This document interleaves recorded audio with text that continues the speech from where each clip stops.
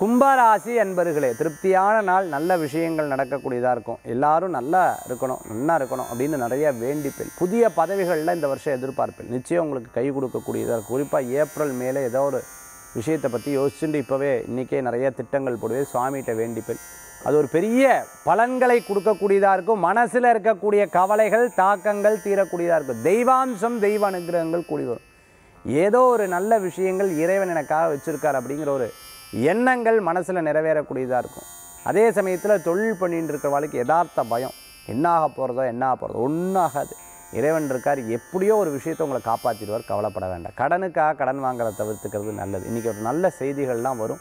இந்த நல்ல செய்திகள் நிச்சயம் அமோகமான பலன்கள் இருக்குது கவலைப்பட வேண்டாம். பாசிட்டிவாக எடுங்கோ நிச்சயம் நல்லது நடக்கும். அதிர்ஷ்டம் தரக்கூடிய எண் ஒன்பது நிறம் ராமர் பச்சை வழிபாட்டுக்குண்டான தெய்வம் சமயபுரம் மாரியம்மன் வழிபாடு வெற்றி வழிபாடு.